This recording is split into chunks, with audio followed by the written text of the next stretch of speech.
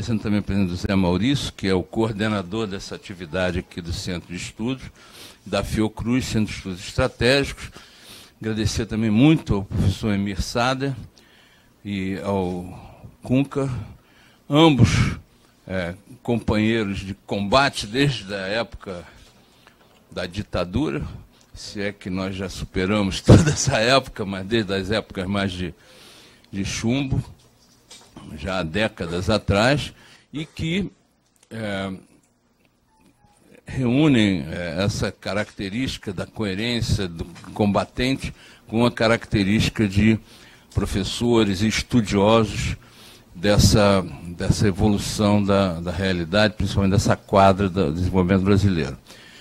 O, o Centro de Estudos, vou fazer um pequeno comercial, porque ele é pouco conhecido, né?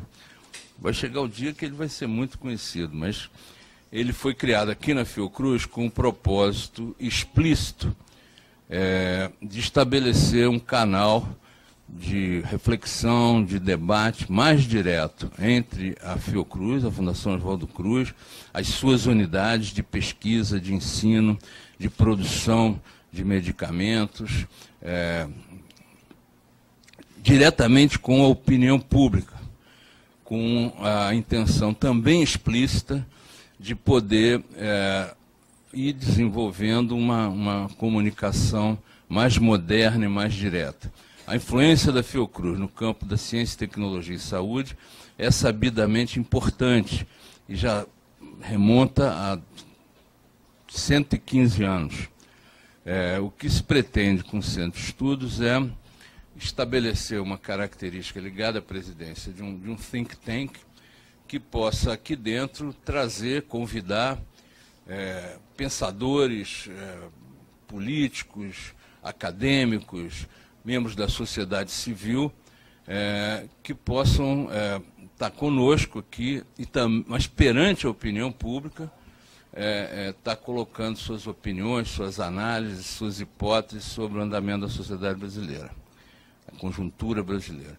Isso ganhou importância nesse momento de crise, é, é, que é talvez a crise mais importante nessa, nesse período é, é, pós-ditadura. Né?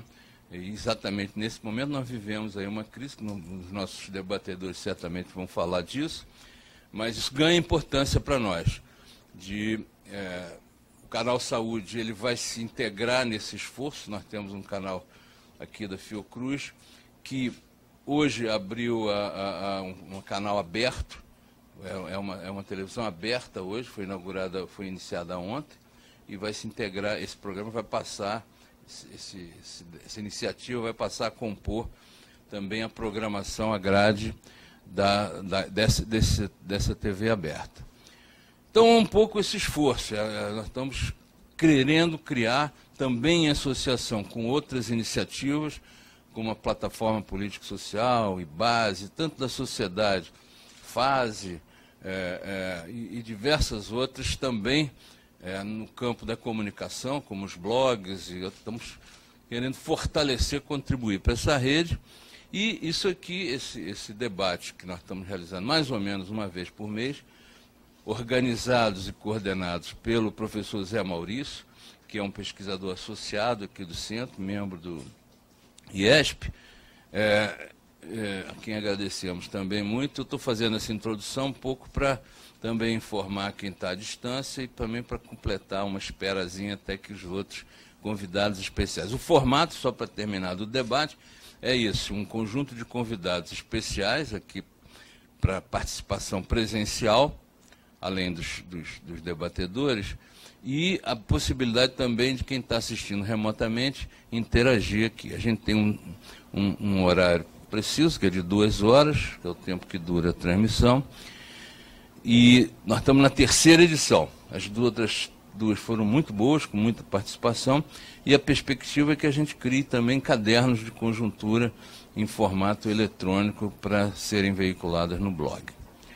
É, hoje é um dia muito especial, porque no Congresso está tendo uma, uma, conflagração lá física, né? É, e vários outros temas explodindo aí na sociedade. Acho que é um momento. Hein? A comissão de ética, é. Mas também na, não é conflagração física, mas também na comissão lá do impeachment, né? Da tentativa de impeachment. Bom, eu vou passar então para o José Maurício, que coordena esse debate, mais uma vez agradecendo aos, aos nossos convidados, que são é, pessoas aqui muito caras para nós. Os mais novos talvez não lembrem da, da, da, faceta de militantes, de combatentes, mas certamente já tiveram a oportunidade de ver uma produção acadêmica deles. Né? Os mais novinhos até devem estar estudando ainda. Né? Ainda não. Como... Passo para o Zé Maurício, então. Obrigado. Bom, boa tarde a todos. Obrigado, Antônio Ivo. É um prazer estar com todo mundo aqui. Prazer estar com o pessoal que está acompanhando remotamente. Quem vai acompanhar depois que o programa for para o site, para a televisão. É, eu queria agradecer a presença de todo esse universo de, de, de, de pessoas que estão participando da nossa discussão. Eu queria agradecer em particular ao Emir Sader, que aceitou o nosso convite, ao Concabocco Ailva Cunha, que vão debater aqui conosco, dando continuidade exatamente a esse nosso projeto de pensar o presente, mas também pensar o futuro do Brasil. Porque é um pouco a convicção dessa nossa série de debates que nós estamos começando uma nova fase histórica no Brasil, que está começando complicada, está começando de um jeito difícil, porque as forças progressivas do país estão no momento de defensiva, mas de qualquer maneira é uma abertura de ciclo e o que eu acho que a gente precisa discutir exatamente é como fazer com que esse novo ciclo assuma uma feição de um futuro progressista. E ninguém melhor do que o Emir, do que o Cunca para ajudar a gente a pensar isso. Os dois têm exatamente essa trajetória, muito acúmulo de reflexão, né, dentro desse campo de esquerda progressista, dentro dele diversas perspectivas. Eu acho que a gente vai lucrar muito com esse debate. Queria passar em primeiro lugar a palavra ao, ao Emir, depois passo ao Cunca, depois ao, ao público presente e ao público remoto. Tá bom? Vamos nessa. Bom, obrigado pelo convite. Eu vou me valer do duvidoso privilégio de falar antes para falar as obviedades que têm que ser ditas para saber onde é que em, em terreno a gente está, né? Acho que as eleições que aconteceram há 10 anos atrás, que elegeram a Dilma, é, acabaram, podem ser resumidas, em última instância, numa polarização entre aonde regiões territoriais e sociais, aonde foi determinantes, foram determinadas políticas sociais, e outras regiões em que a formação da opinião pública predominou. Resumidamente, no Nordeste a Dilma teve sempre mais de 70, e as grandes metrópoles do Centro-Sul foi mais ou menos dois terços a um terço. Então a polarização foi essa, onde foi predominante a formação da opinião pública, até nos setores populares a direita ganhou. Para recordar uma coisa dolorosa, que é um candidato de merda como esse, não tem como definir, teve 51 milhões de votos, provavelmente 30 milhões de setores populares. É, então, eu acho que saiu-se disso. Né? E e o governo fez uma leitura absolutamente equivocada de como partir dessa situação. Ao invés de consolidar as bases próprias, fez uma leitura que desembocou no ajuste. As condições mudaram, que as internacionais e as internas, e se desembocou na situação paradoxal de que, pela primeira vez na história do Brasil, um candidato, uma candidata eleita ou reeleita, com a oposição de todo o grande capital, todos os empresários. Quer dizer, já nas pesquisas prévias, assim, aquelas que se faziam em reuniões de empresários, o valor fazia era impressionante, mas a Dilma estava em terceiro lugar, quando ela era muito favorita para ganhar, mas estava assim em primeiro lugar, não sei se era, acho que era o S, segundo lugar Marinta.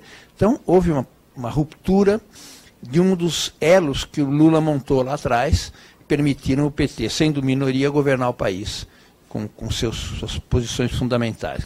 Havia uma aliança com os setores do PMDB e uma aliança com o setor do empresariado.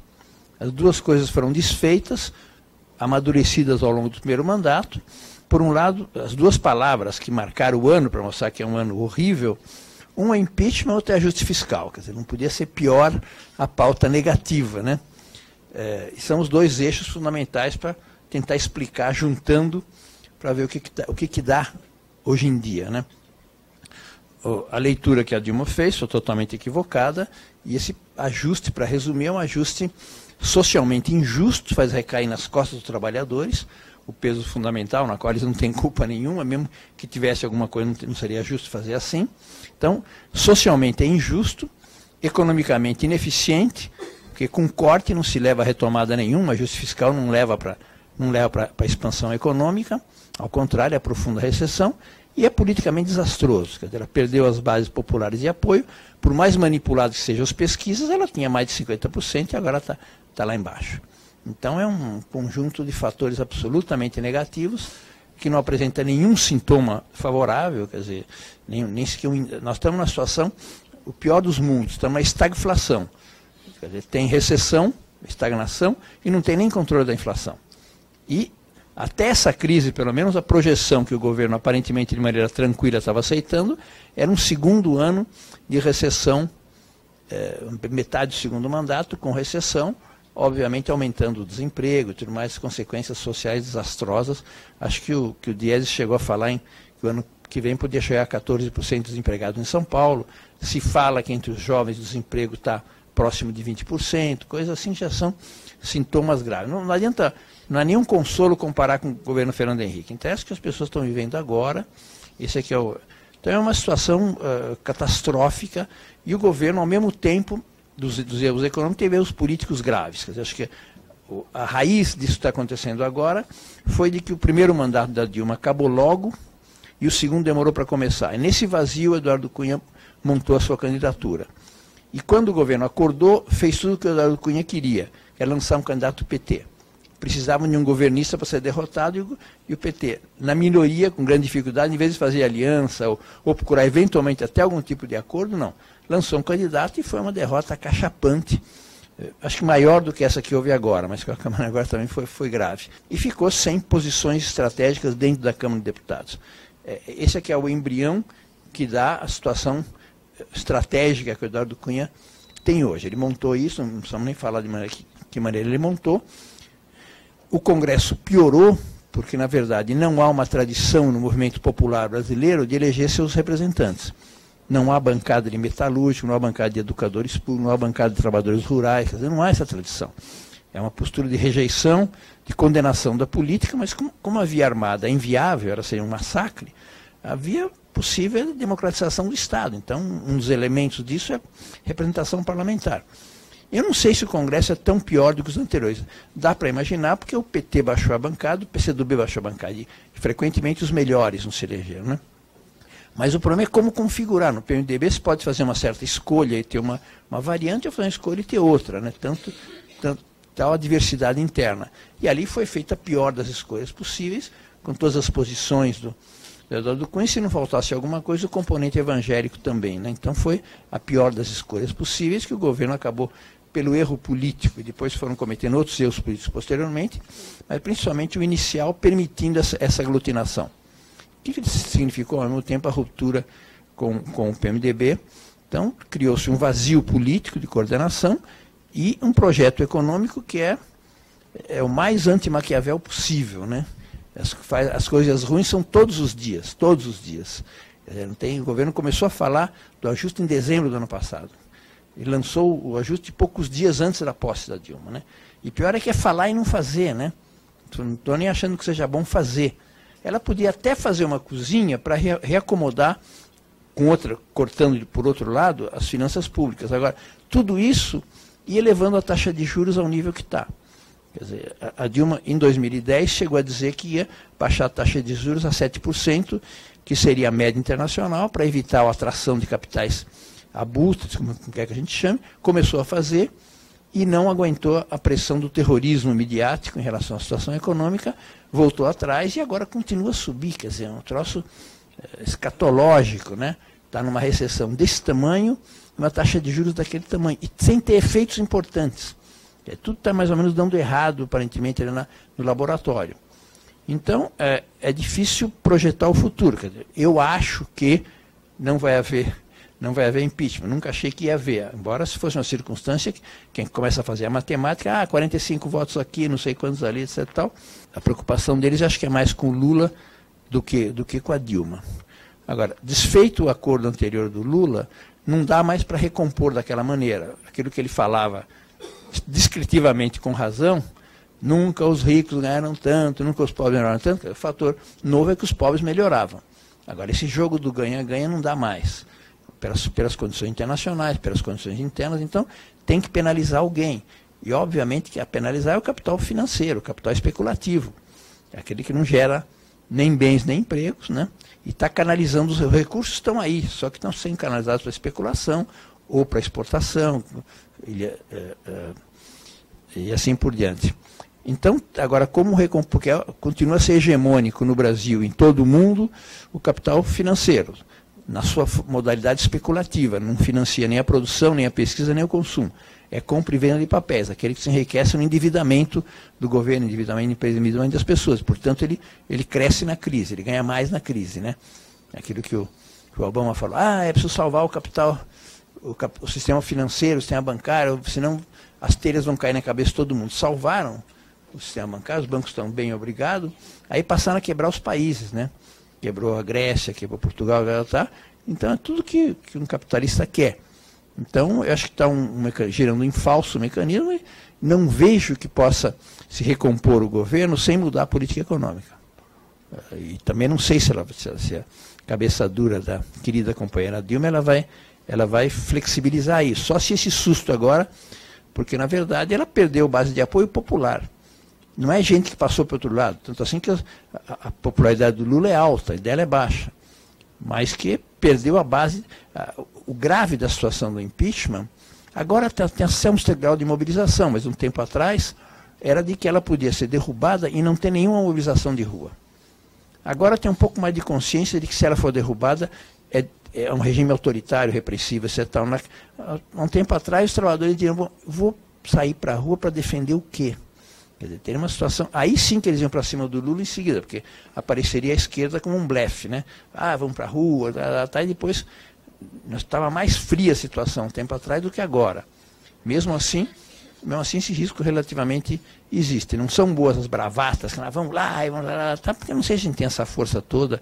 Não é o problema que está todo mundo em casa louco para sair e falta as direções políticas burocratizadas falarem vamos, ah, de um governo que vão, vão voltar aquilo que é, que é que é a essência da coisa. Quem está pagando o preço do ajuste são os trabalhadores. E, em geral, a massa pobre da população. Então, mesmo os efeitos das políticas sociais vão sendo neutralizados. Em parte, a derrota na Argentina e em grande medida na Venezuela foi por isso, descontrole inflacionário que minimizou, que neutralizou uma parte das conquistas fundamentais. Então, começaram a perder base de apoio popular.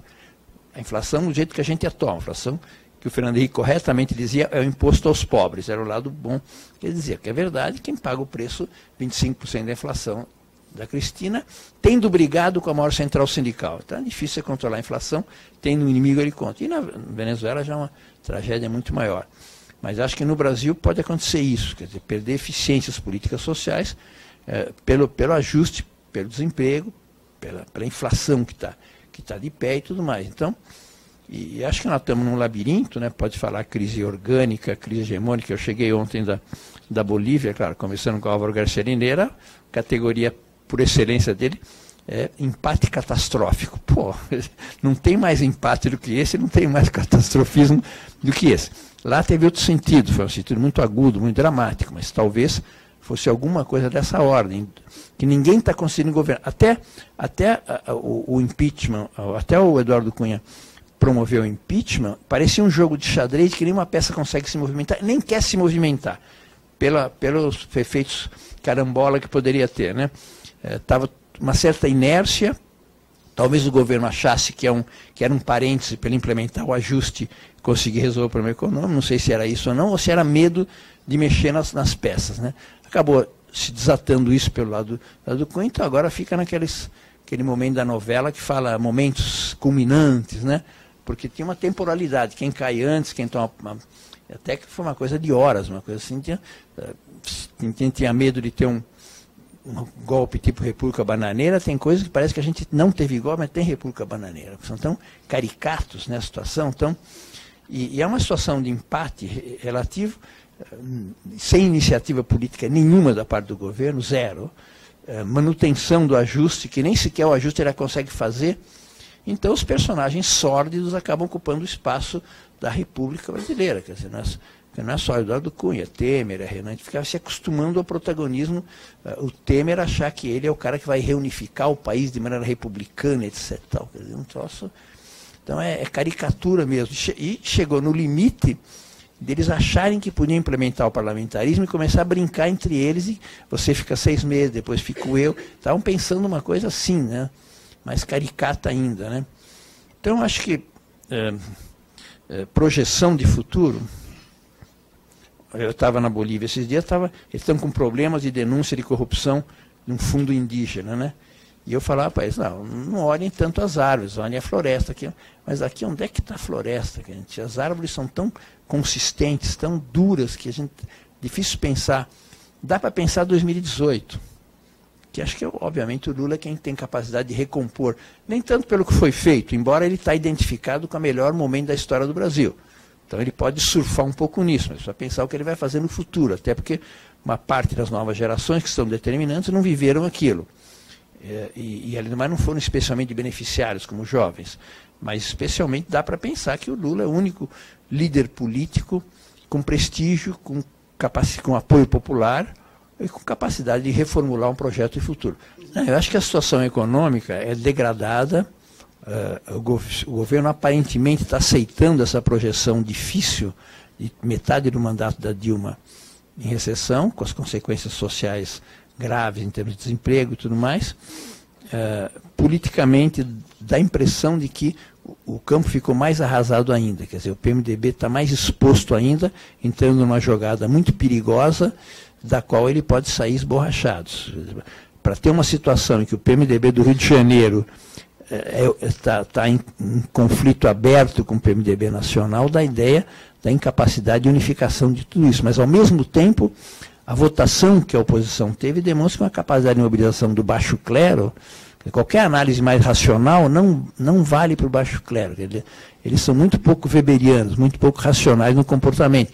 E podem estar pensando, primeiro, como é que eu escapo do Lava Jato, segundo, que vantagens eu tenho se o Congresso tiver muito mais poder sobre o Executivo, e assim por diante. Então, são raciocínios mais ou menos de ratazana, né? mas pode ter isso. É, mas eu acho, que, eu acho que não só o PMDB está numa situação difícil, é, o futuro, sempre que termina a eleição, o PMDB fala, mas na próxima eles vão ser candidatos. Eles não vão ser candidatos nenhum, vão ser sempre um componente importante no bloco no poder. Né? O único candidato que eles tiveram, coitado, doutor Ulisses, foi só a família levou o cadáver dele até o Ulisses, que era Ulisses. Né? Por outro lado, quem se esculhambou definitivamente, eu acho, são os tucanos. Porque se casaram só, só, só com o golpe. Não tem o que propor. Quer dizer, quem está lá na frente é o, é o Aécio, que só pode sobreviver espichando a conjuntura em que ele tem uma votação alta. Uh, o candidato deles é o Alckmin. Né? Se eles pensarem com alguma racionalidade, não precisa nem consultar o Ibope, né? pensar em, em Lula e Alckmin é ruim para eles. Né? É, a Marina também não está mostrando que tenha sobrevivido bem às circunstâncias passadas. Então, o futuro deles não é. E acho que eles deixaram de ter qualquer posição política, qualquer, nem sequer aquelas que o Écio defendeu na campanha eleitoral. O Fernando Henrique é escandalosamente. Ele se assemelha mais ao Carlos Lacerda sem os méritos do Carlos Lacerda, que era um puta de um orador, tá, tá, quer dizer, tá, um, o rancor dele é uma coisa muito marcada, muito forte, que o castra de qualquer legitimidade. Então, é um, nesse deserto, não fosse os méritos próprios que tem, mas o Lula, se, obviamente, é, tem, tem uma legitimidade, um potencial muito grande, né, comparativamente. Só que são dois anos e meio, né? Pra, não é para acabar, para ter campanha eleitoral. Tá, tá, como é que o país sobrevive a uma situação historicamente inédita? Né? Em outras circunstâncias, diria, bom, não vai ser possível, os militares vêm aí, né, que não virão, não tem uma solução mágica nem para a direita nem para a esquerda. Para terminar, eu diria que eu acho que, apesar dos sintomas todos desse ano, todos negativos para a esquerda, nos países progressistas, a direita também está muito mal. Ela governa o México, como é que está o México. Governa o Peru, como é que está o Peru. Então, não é que... Só que a novidade é que nos países progressistas ela levantou cabeça fortemente. Mas eu acho que não é o chamado fim de ciclo. Fim de ciclo é quando tem uma alternativa no horizonte, à direita ou à esquerda, que supera as contradições e os problemas. O neoliberalismo foi uma superação de ciclo. Eles entraram com um diagnóstico modernizador, renovador, vestiram roupas diferentes e nos arrasaram. Deslocaram a temática para o ajuste fiscal, tá, tá, tá, Nós ficamos ali foi um fim de ciclo. Agora não, todos os candidatos, mesmo moderados no Brasil e na Argentina, apelam para esquemas econômicos neoliberais duros e puros. Eles não têm o que falar sobre como sair. O que eles fazem é adocicar. Vamos, a equipe econômica é dura, mas vamos fazer política social. Nenhum deles teve que provar. O Mark vai ter que provar agora. Por mais que ele flexibilize a política econômica, a equipe dele é, como disse o presidente da Associação de Bancos Estrangeiros da Argentina, a equipe do Macri é um Barcelona. Para eles, né? Porque é, estão todos os caras, até, até sobrenomes lá tradicionalíssimos, né? Da, da, da, dos economistas do golpe de 55 estão ali. Então, todas as coisas que levam à situação de ortodoxia econômica absoluta. Né? Então, eu acho que não é, o que não quer dizer que eu acho que terminou uma etapa nesses governos progressistas. Não dá mais para mais seguir. Nesse, tem, tem alguns elementos que são, que são claramente eh, limites. Né? Eu acho que não dá para manter um tipo de liderança política, estilo Hugo Chaves, estilo Rafael Correia, mesmo estilo Cristina, de bater o tempo todo, politizar o tempo todo. Não estamos vivendo uma época revolucionária em que é possível manter esse pique de enfrentamento. Tem que combinar, para ter hegemonia, tem que combinar o combate e, ao mesmo tempo, a unificação nacional, o consenso, etc. Tal. Eu acho que, que o Lula tem que fazer isso. Até agora ele fez um discurso para reagrupar as forças próprias, que estavam desmoralizadas. Agora ele tem que começar a ser o cara que unifica o país, o cara que parte para o diálogo, para a discussão. É, tá, tá, tem que ser aquele que aparece como o único que pode recuperar a legitimidade do Estado, com um projeto de desenvolvimento, distribuição de renda. Tá, tem que formular como é que ele vai fazer. E não dá para ser para todo mundo. Ele vai ter que pegar.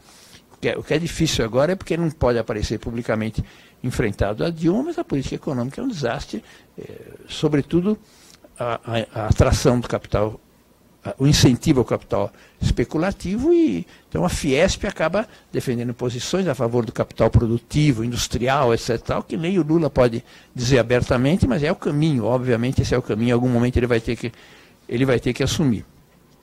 Então, eu acho que a virada futuro, futuro econômica, Dilma vai ter que, talvez aprendendo dessa circunstância, que quem a defende são os trabalhadores, são os momentos populares, são a militância, eh, momentos sociais, e, portanto, ela, ela, não pode fazer uma política econômica antipopular. Né?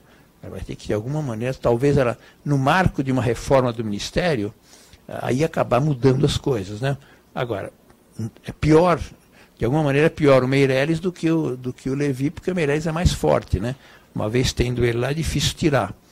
Enquanto que o Levi é um cara inexpressivo, é diferente. Então, fazer o esforço homérico para tirar um para colocar outro, que o Lula estava fazendo, mas o Lula tinha que ver que o, que Meirelles estava no Banco Central, mas ele tinha uma Dilma desenvolvimentista, de Nelson Barbosa, tinha um polo constituído que ganhou aquele debate interno e fez com que a economia crescesse e se livrasse do palócio e tudo mais. Agora não, não tem isso, não tem esse núcleo no governo.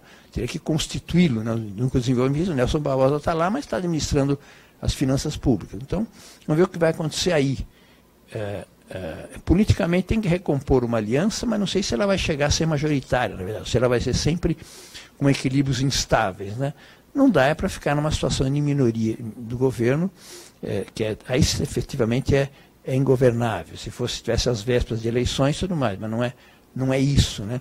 E tem uma ofensiva da direita. Por mais que eles se enfraqueçam por não dar certo o impeachment, a, a, a, a mídia vai continuar pegando muito pesado, porque eles precisam de um governo fraco. Precisam de um governo fraco para poder uh, ter prestígio, ter força. Ao mesmo tempo, a economia privada também precisa de um governo frágil, fragilizado, tal, tal para não ser penalizada por nenhum lado. Então vai ser um embate duro daí para frente se o governo não tomar medidas que não dá para fazer nada, quase nada com o monopólio dos meios de comunicação, com esse Congresso que está aí. Agora dá para redistribuir recursos, dá para aplicar o que o STF aparentemente vai aplicar as normas da Constituição, algumas coisas assim, dá para relativamente fazer, principalmente precisa falar. Precisa falar, não sei se é a Dilma que vai falar, né? ou se é o Lula que vai falar, porque eh, tem que dar explicações alternativas, tem que estar o tempo todo questionando, que não basta desmentido das acusações, é uma, uma narrativa do que acontece com o país e por que, que esse país está nessa situação?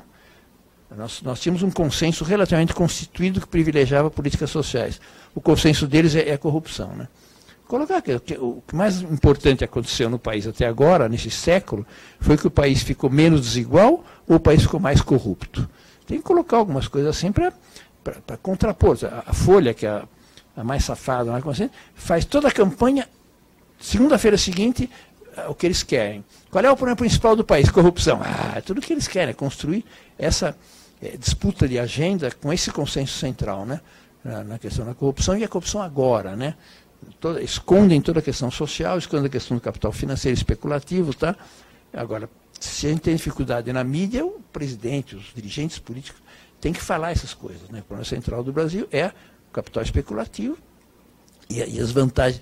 A Veja, só vi no, na ponte aérea, a capa, a Veja não, desculpa, o exame falava uma coisa assim na chamada de capa serão necessários 10 anos para recuperar o atraso que o, Brasil, o retrocesso do Brasil está tendo. Uma coisa que eles vão passando assim, impunemente. Não sei quem acredita nisso, mas vai criando. Eles têm um pessimismo econômico e o tema da corrupção, as duas coisas. Na campanha eleitoral, quando houve horário de televisão, deu para desmontar o pessimismo econômico. Né? No final da campanha, até os eleitores do AES achavam que a economia estava indo bem. Agora, corrupção não, porque é 10 anos você é corrupto, teu irmão é corrupto. É, é difícil, né, como, como, como pecha, assim, né? Mas deslocar do fato que esse seja o tema central, central sem negar os problemas que teve, né?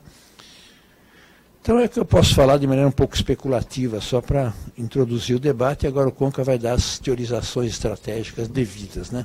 A avaliação do Emir tá, foi muito mais dura da que eu fiz no primeiro debate. Alguns colegas, companheiros aqui ficaram incomodados, achando que eu estava sendo muito duro com o governo de Dilma. Eu estou vendo o Emir aqui sendo muito mais duro do que. então, é, mas é bom, porque a gente precisa discutir exatamente, é, pensar arejadamente essa questão para a gente poder sair dessa arapuca em que, nós, de certa maneira, nós mesmos nos colocamos. Né? Então, passar a palavra ao Cunca para a gente continuar aqui na nossa discussão. Boa tarde a todas e todos. Quer dizer, quero agradecer ao fato, acho que o Antônio Evo colocou muito bem, nós estamos num território especial, que é essa combinação de ENSP, Fiocruz, esse complexo que é produtivo, intelectual, técnico, territorial, implicado com a cidade, e no coração de um debate estratégico que é parte do nosso debate. Por que, que a gente não consegue articular direitos, políticas e projetos é que, de certa forma, coloca em centralidade naquilo que é fundamental, a exemplo do que foi o projeto do SUS.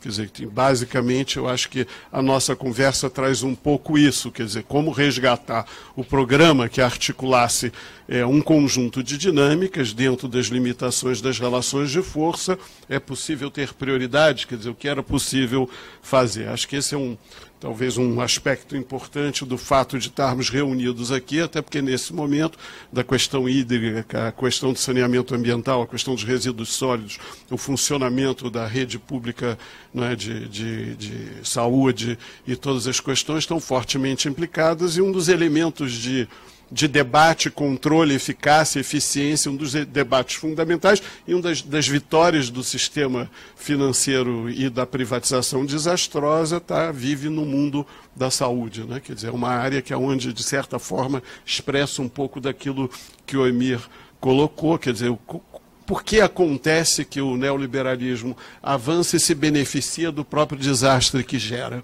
Quer dizer, quando é que a gente vai conseguir contrarrestar esse aspecto? Bom, eu fiquei pensando algumas coisas desde onde falar. Eu acho que é, tem alguns. Tem um ponto de partida um pouco de dizer se o, o projeto que o PT encabeçou bateu num determinado limite, não é? é? Se esse projeto pode ser apenas defendido, pode ser pode se avançar em relação a ele, não é se o ciclo da, do de uma conjuntura, que nesse momento, inclusive, é uma conjuntura de guerra, quer dizer, alguns dos maiores potências do mundo estão formalmente em guerra, guerra formal, é, elementos de exceção, é, emergência e exceção, regimes de segurança e regimes de guerra. Nós, provavelmente, se tivermos as Olimpíadas, o que provavelmente teremos, assistiremos um pouco é, esse debate, já convivemos um pouco com isso na nossa realidade recente. Bom, como ter confiança, nitidez e clareza diante de tanta perda de, de, de certo capital político? Quer dizer, além, no embate cultural que o Emir colocou, quer dizer, o Emir coloca sempre uma coisa importante, que é a, o modelo subjetivo norte-americano de consumo, é, etc., teve uma vitória grande e entre nós é muito forte, e isso isso exige um embate cultural, é, mas nós tínhamos um certo, junto com o avanço que, que se pretendia desenvolver na questão redistributiva e num programa, no mínimo, entre o melhorismo e o reformismo social, que gerou extraordinária mobilidade no país nós tínhamos pensado em um certo capital político de avanço democrático, um certo capital político de fazer um modo distinto de governar. Eu diria que uma, um aspecto é, não secundário da nossa derrota foi, apesar de termos retomado a relação do Estado e das políticas públicas, do avanço distributivo, nós, é, de certa forma, tivemos que e estamos enfrentando algumas questões que são decisivas naquilo que seria também uma das virtudes estratégicas do projeto inovadora, que trazia, digamos assim, uma mobilização subjetiva importante, que era, bom, isso se deu em função das alianças, isso se deu em função do problema da base de sustentação, isso se deu para ceder embaixo, ceder do lado, ceder de alguma maneira para poder viabilizar governar, quer dizer, o realismo político das alianças, até onde pode ir. Bom, isso tudo, evidentemente, tem algum tipo de preço, algo a pagar, não é? e a política você eventualmente tem que decidir é, por onde vai. Quando terminou a eleição é, passada, houve a possibilidade de alguns caminhos. Bom, seria muito difícil trilhar, evidentemente, um caminho de um reagrupamento de forças de esquerda, de um projeto de esquerda, mas isso chegou a ser cogitado. Dizer, chegou a haver essa cogitação, mas certamente a base programática, a base organizada, é, esse processo em curso de desgaste já estava grande. Mas vamos lá, eu vou colocar alguns pontos assim, porque eu, na realidade, não tenho uma, uma fala tão ordenada e acho que como o, o, Emir colocou algumas questões que são que desenham bastante bem parte do cenário institucional, que a gente teria que agregar a dinâmica judiciadora né, e a correlação entre isso e o processo midiático, quer dizer, esse tripé né, é bastante forte dos elementos da morbidez política parlamentar e de um cotidiano todo dia que tem novos fatos e é um pouco paralisante do ponto de vista dessa combinação de, da, da, dessa lógica né, das operações policiais, das operações judiciárias. Bom, primeiro, crise ou fim do ciclo político da autonomia relativa na América do Sul. Quer dizer, estamos vivendo nesse momento uma retomada de uma geopolítica de poder norte-americano com mais força no continente, estamos retomando. Bom, são fatos que a gente não precisa falar necessariamente de ter uma visão conspiratória de golpe, são fatos estruturais. Nesse momento, a relação de forças parece, em parte, nessa direção a mobilidade social e a dinâmica das políticas de acesso, bom, o consumo de massas, o, a dinâmica produtiva nos territórios, uma certa força de mobilidade social é, se, se, deu no Brasil fortemente. Quer dizer, nós temos mais presença da mulher, mais presença do negro é, é, nos espaços universitários, no espaço da política, até na retórica popular da demanda por justiça. Quer dizer, nós temos capacidade de contrarrestar em cenários extremamente reacionários e criminalizados é possível pegar e dizer, olha, o Amarildo tem nome, quer dizer, algo que é, é, resultado das nossas lutas. Que três resultados das nossas lutas estão dados. Não dá para fazer a exceção política plena, então não tem margem de golpe militar e outras formas no momento, eles não têm proposta, a direita não tem capacidade de organizar isso, é preciso uma brutal desorganização e incapacidade nossa, não quer dizer que não possa ocorrer num quinto capítulo desses embates. Segundo, eu acho que tem conquistas distributivas que se espelharam e certamente é, a principal foi, de certa forma, manter o referencial dos aumentos de renda e as políticas distributivas. E a terceira, alguma mobilidade no plano escolar, que foi no, no plano cultural, que foi significativo, e explodiram enormes demandas civis. Quer dizer, não é, é, o espaço de mobilização e protesto e rebelião de 2013 também tem alguma base no potencial. A geração é, 2.0, de certa forma, se constituiu né, dentro de espaços e contradições novas no embate urbano, em uma série de questões, mas, ao mesmo tempo, coincidiu com um momento de, é, de máxima cristalização de alianças muito perversas no plano local e no plano regional. Quer dizer, nós ficamos bastante amarrados em termos de agendas, em termos de governos, de qualidade dos governos locais e, inclusive, do, da própria agenda é, dos mega-eventos e outras coisas que têm é, problemas que poderiam ter sido aproveitadas em outra direção e, na realidade, não foram. Acentuaram ah, os aspectos mais negativos da coalizão com as empreiteiras e de outros interesses. Bom, é, as alianças e projeções, o capital produtivo brasileiro, por exemplo, ou seja, você poderia ter tido uma situação em que a projeção dos interesses que o governo é, desenvolveu em vários momentos pudesse dizer, não, vai ter um desses caras detidos das empreiteiras, vai bater na mesa e diz, eu sou capital produtivo, eu não ponho, não isso, o nosso capital produtivo está todo mediado pelas relações financiarizadas e, de novo, tem um problema na formação desse bloco do sistema de alianças, quer dizer, ou seja, isso tem um problema para nós que não é delicado.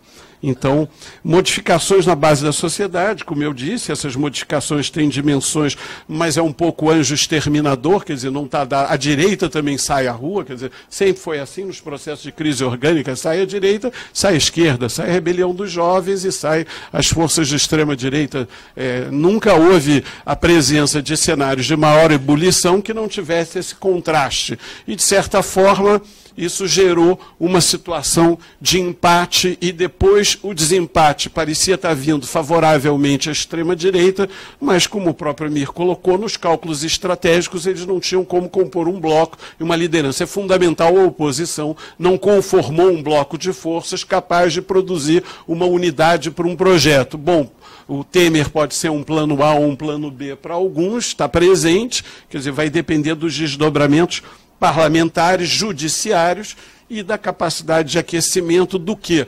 Do que, do que pior esses cenários geram, que é a soma das multiplicações de paralisia.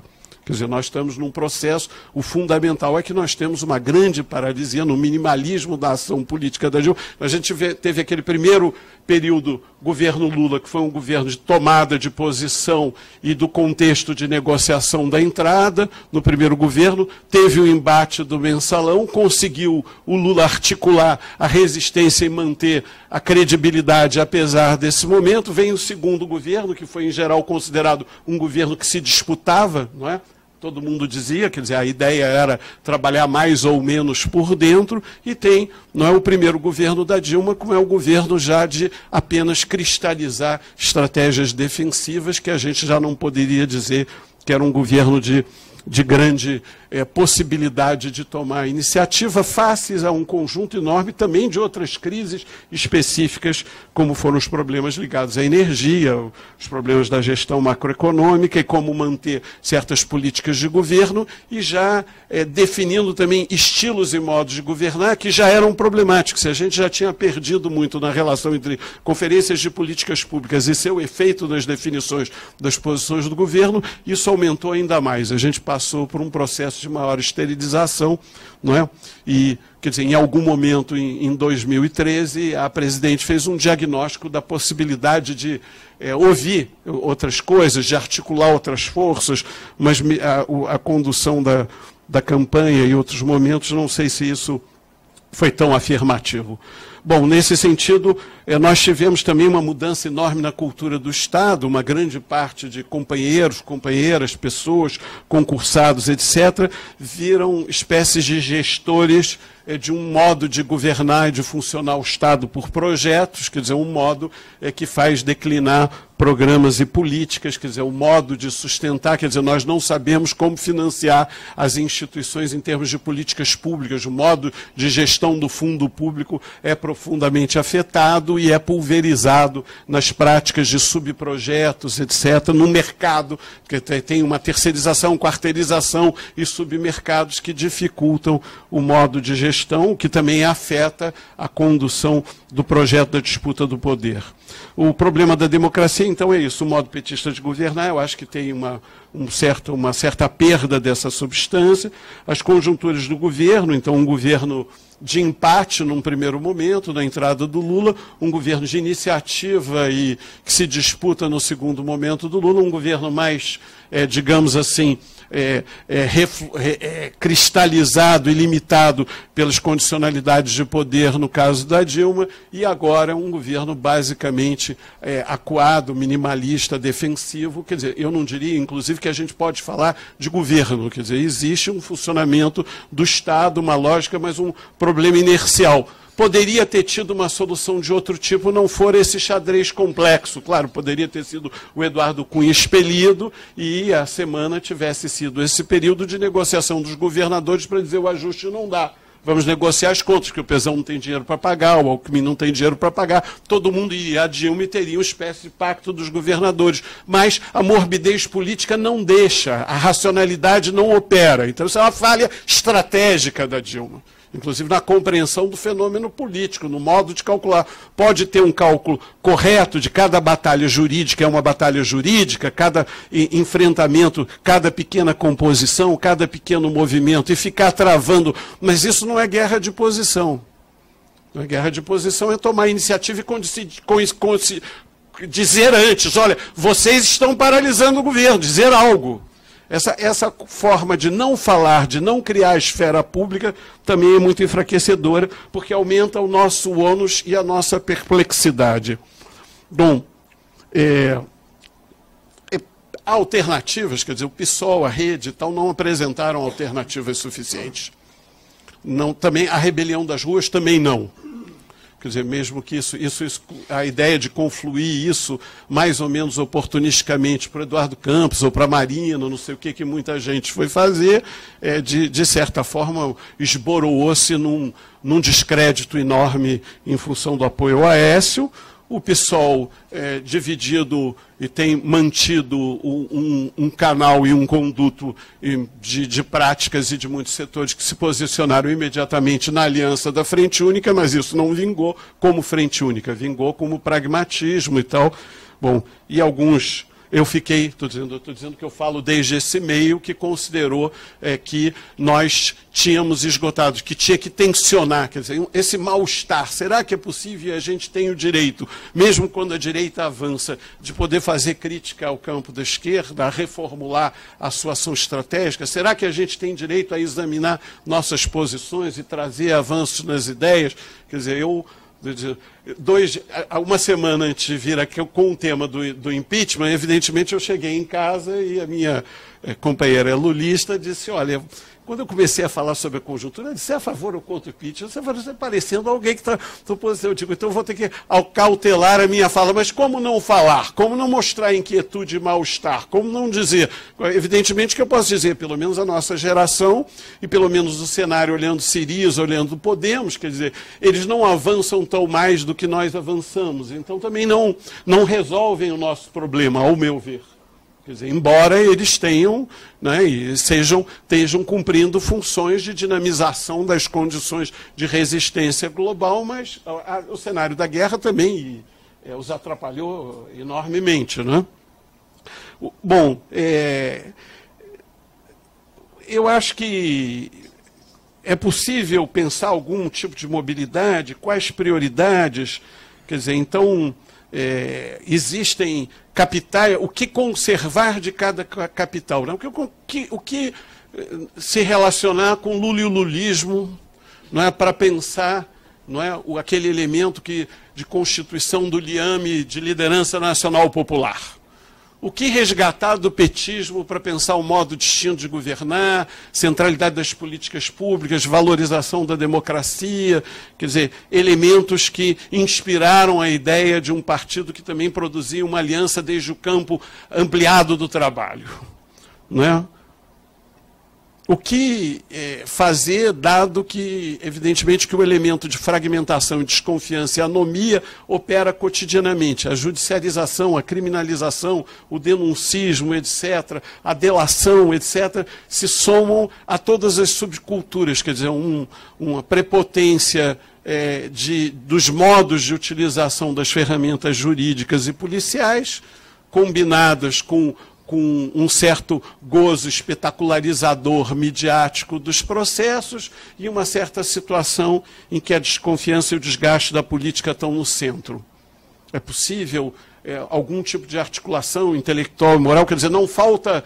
É, não faltam os intelectuais se posicionarem, mas, digamos assim, não tem mais o mesmo papel público. Esse papel público tem que ser constituído de formas distintas. Talvez é, essa, essa, essa contra, é, essa estratégia de buscar a TV intranet, a TV aberta, as estratégias de informação se constituir como corpos é, políticos comunicativos que fazem bom.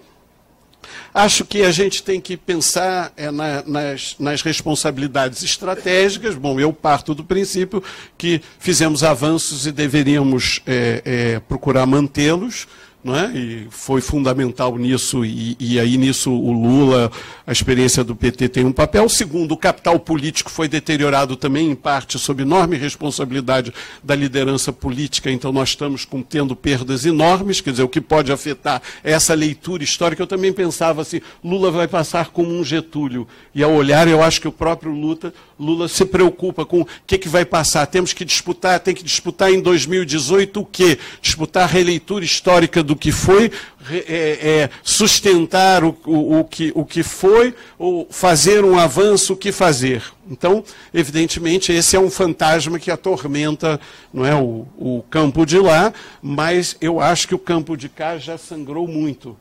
Quer dizer, é possível algum tipo de, de formulação de frente única? Quer dizer, o sinal real do país combina esses sinais contraditórios, né, de grande mobilidade social, eh, entrada na universidade, aumento de renda num dado momento, e alguns dados que rapidamente se perdem, nós continuamos com. Tivemos em 2014 58.559 mortes no país, então, evidentemente, de por assassinatos. Né? Então, nós, evidentemente, continuamos uma sociedade que, é, que está em conflito acirrado o conflito interno da sociedade brasileira, e ficou explícito, inclusive, na selvageria discursiva das forças é, é, regressistas que se manifestaram nos últimos tempos em relação ao Estatuto da Criança e do Adolescente, etc. Bom, é, como produzir algum. Havia nitidez política no nosso projeto, quer dizer, nós todos. Hegemonia é um pouco uma pedagogia, não é isso? Quer dizer, como recompor um campo de entendimento, um campo de pedagogia política, algumas coisas que nos permitam, inclusive, saber como tratar as contradições é, que já fomos desenvolvendo, quer dizer, entre neodesenvolvimentismo e crescimento e estratégias de transição ambiental de novo tipo na economia, entre economias mais centradas em paradigmas é, distintos no modo de produção no modo de desenvolvimento, na, no trato da questão industrial, na mudança da centralidade de certas cadeias produtivas. É um pouco um processo tão contraditório quanto dizer o seguinte: a indústria automobilística, a classe operária metalúrgica foi fundamental, São Bernardo foi central, mas, por exemplo, o automóvel não tem mais centralidade para organizar a sociedade nem a classe operária, e isso muda e como a gente reconfigura. Mas não é simples, porque ele também faz parte do desejo subjetivo dos sujeitos de ter o automóvel, ele é o modo de desenho da cidade, etc. Mas nós perdemos a capacidade de, de discutir certas questões e de qualificar certas questões. Nós não assumimos, não é assim, uma, a minha universidade paga 4 milhões de reais de luz, mas nós nunca discutimos o é, é, é, painéis solares e temos lá todo o campo neofordista da, da, do complexo pré-sal instalado lá. As empresas estão demitindo, estão se reinstalando em parte lá é, é, para sustentar os seus projetos no campus. Em parte, o nosso campus é uma expressão contraditória também dessa época. Né? Aumentou a matrícula dos pobres e nós temos o drama da infraestrutura, o drama da terceirização.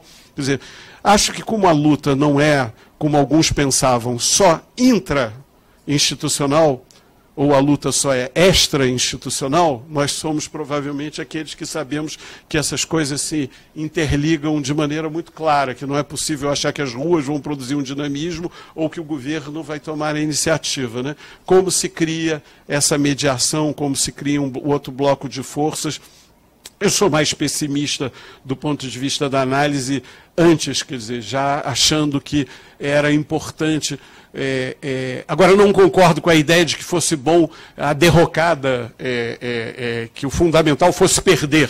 Quer dizer, ou seja, tem, tem um conjunto de leituras é, muito problemáticas, que o fundamental é, se tivermos que recuar, como? Não é?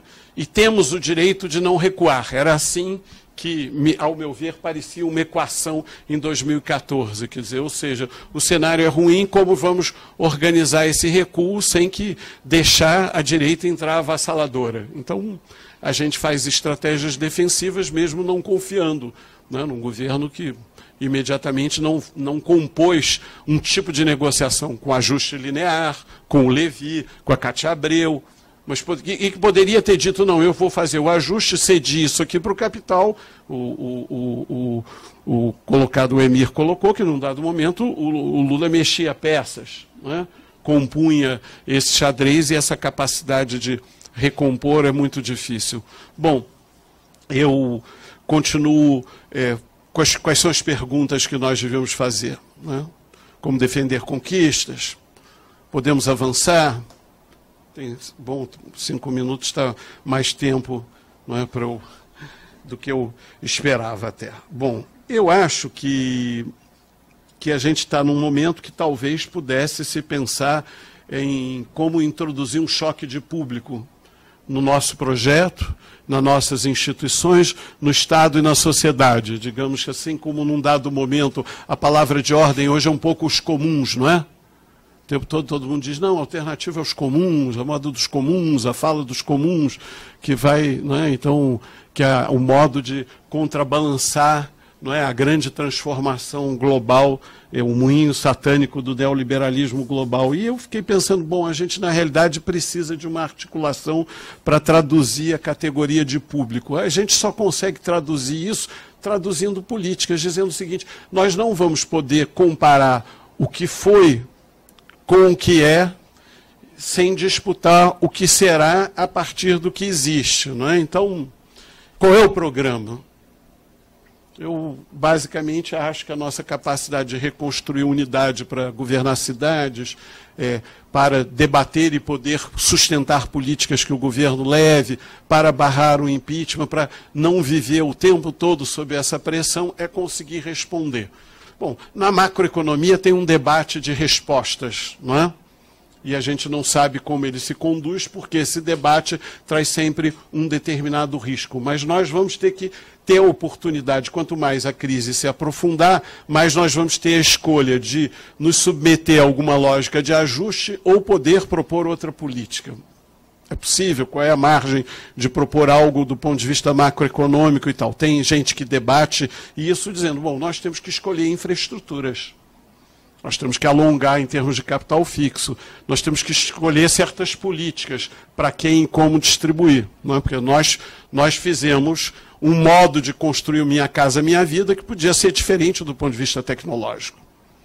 Nós fizemos o PAC de favelas, que podia ser diferente do ponto de vista do modo do gasto, da estrutura de gasto. Nós fizemos o mega eventos de uma maneira que a construção de estádios, a negociação, etc. Ou seja, nós poderíamos pensar que grande parte do conjunto das políticas de infraestruturas, de prioridades portuárias, aeroportuárias, rodoviárias, nós deveríamos nos intrometer. Como fazer? Eu não, eu não quero ser simplista na velha revolução das prioridades, mas lembro o seguinte: a gente não conseguiu responder a barca Rio-Niterói, precisa até 2016. Talvez eles consigam comprar algumas barcas da China. E é o país tinha construção naval e é capaz capaz de construir. Quer dizer, nós temos que ter uma visão que permita, de alguma maneira, dizer, pô, nós temos aquelas mega plataformas ali quando atravessamos e vemos, atravessamos em Rio Niterói e não conseguimos fazer. Como fazer esse encadeamento? Então, a minha pergunta, é possível algum tipo de substituição de importações nesse momento? Algum tipo de acordo? Mas, claro, eu posso negociar painel solar com os chineses, eu posso fazer o quê? Mas fazer isso direito, não é comprar o o vagão e não ter medido corretamente o tamanho da bitola aqui, não é? Quer dizer, então nós é, conseguirmos concretizar os parâmetros da orientação estratégica do gasto público nas questões produtivas, nas questões financeiras e na questão do fundo público. E no último minuto, é evidente que nós estamos desesperados com a questão hídrica isso pega a cidade, isso pega o urbano, isso pega o consumo, quer dizer, a situação é extremamente grave do ponto de vista do saneamento ambiental, do ponto de vista da saúde, nós deveríamos fazer algumas escolhas e, por último, juventude com renda básica, quer dizer, não podemos continuar a guerra e a mortandade da juventude. Deveríamos ter alguns pontos sem os quais não é possível reconverter a nossa mobilidade, mobilização e uma certa nova frente única que possa dialogar de um ponto de vista da esquerda seja, algo, como é que eu, eu junto não só o João, o João Willis, o Emiro Tarso e o pessoal da periferia e as redes de juventude, o movimento de mulheres, etc., como fazer isso, quer dizer, numa agenda que não seja só, eu não, e, e na ambivalência apoiar o, é, e agora, como fazer isso recusando o impeachment também sem uma consigna muito clara, quer dizer, nós vamos dizer, nós ainda temos que traduzir comunicativamente isso, eu quero poder sair daqui ou de qualquer lugar, com uma palavra de ordem muito firme e muito clara. Então, demorou-se a dizer fora a Cunha, teve efeito. Quer dizer, é, aliás, foi, foi razoável o embate, levou o Cunha, inclusive, a se precipitar para não cair, um, pequeno, um movimento razoável de mulheres que fez isso. Quer dizer, que, que respondeu numa outra base ao embate. Diz, olha, nós entendemos o que está em jogo nas agendas que estão em curso. Porque, como foi dito, a agenda do Cunha é um é somatório também de mobilização de outras agendas, não é só é, o pequeno interesse, é também um conjunto de estratégias reacionárias que buscam convergência e que, de certa forma, e nesse momento, também outra coisa, tínhamos que ter sido mais nítidos no embate com o Levi. Hoje nem precisamos ser, ele vai cair sozinho, quer dizer, ou seja, ele vai cair é pela impossibilidade até de fazer algo. Não é? Agora, a, o remédio pode estar matando o doente e a gente tem que fazer algo. Então, eu, eu me sinto disposto a ir na direção de algo. O quê? Então, nós temos que refletir sobre como podemos recompor a confiança entre nós, um certo processo, e, e, a, e a cautela é necessária. A prioridade nesse segundo agora é, evidentemente, barrar o impeachment. Queria agradecer, obviamente, especialmente ao Emília e ao Kun, que eu acho que a gente teve um bom debate. E ano que vem, com certeza, a gente reabre a nossa discussão, vamos repensar algumas coisas, vamos ampliar em outras direções, e espero contar com a presença de todos, né? aqui de novo no nosso debate do CE em 2016. Muito obrigado, Emir, muito obrigado, Cunca, muito obrigado a você. Boa tarde.